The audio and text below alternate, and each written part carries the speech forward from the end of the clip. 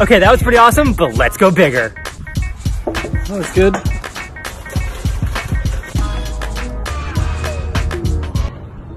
In three, two, one, jump!